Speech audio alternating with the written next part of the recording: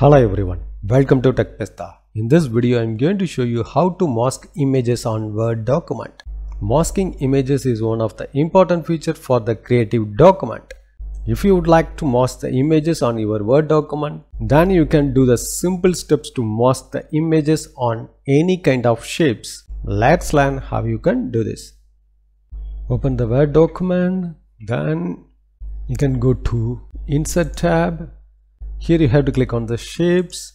Here you have to choose the shape what you would like to create the image masking. So I would like to choose hexagon shape. I'm creating a multiple hexagon.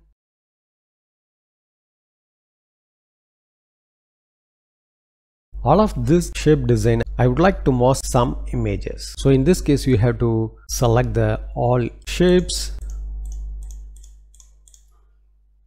and right click then click on the format object. Here you have to click on the line then you have to click on the no line. Now your shapes border has been removed. Now you have to open the fill. Here you have to click on the picture. By default the texture will be filled for the shape. You have to click on the insert.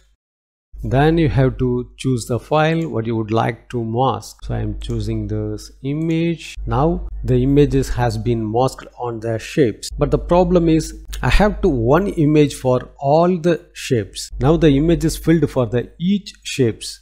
So i have to right click and click on the group. Again you have to go to fill then click on the picture. Now the one image is filled for the all shapes. In this way you can easy to mask the images on any kind of shapes in Microsoft Word document.